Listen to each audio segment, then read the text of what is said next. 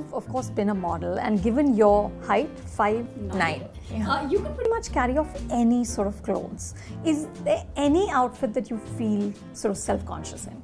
Yeah, so many times. like what? Yeah, like for example, I never wear shoulder pads. There are a lot of like suits and outfits that have shoulder pads, but I have broad shoulders already, so it just makes me look very funny and lanky.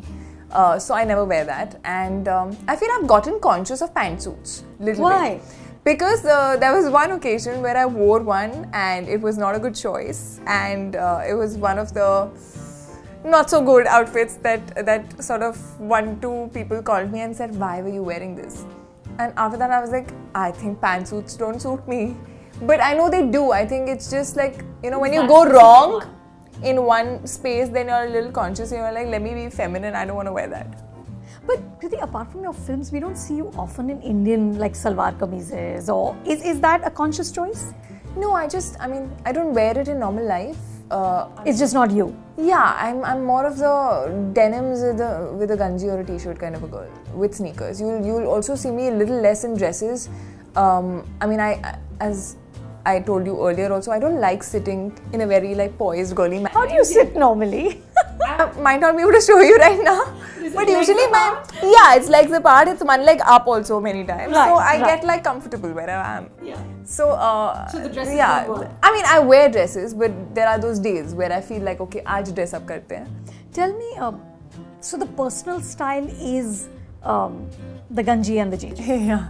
When you're working with a stylist for your events and your promotions and anything that's non-film, how much of your personal style as opposed to what the stylist tells you to wear?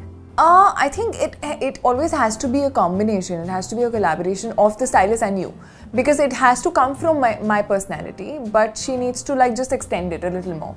Like I like uh, experimenting also.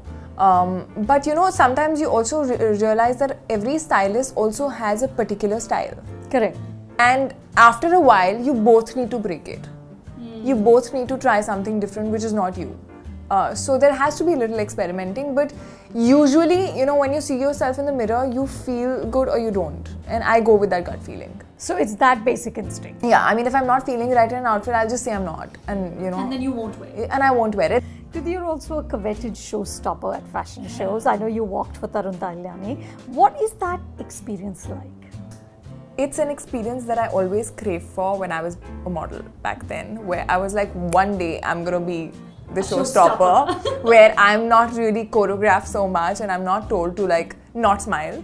Otherwise, models are told, right? right. You're told, yeah, don't smile or a ple- pleasant face. That's it. That mu- that much only. Uh, so I'm not given like a specific, you know, mood to go with. Um, although I'd happily follow, but uh, yeah, I think it, it it's it's a bit of a high when you get on the ramp as a as a showstopper. Of course, you're nervous just before it, uh, and suddenly you're told go. And I thank God I've experienced it as a model, so I know how it is. Yeah. Uh, but when it just finishes so fast, yeah, you don't realize it's like for those 20 seconds you've dressed up so much and you've done all that body makeup and the shimmer and the hair and all, and it just finishes so fast.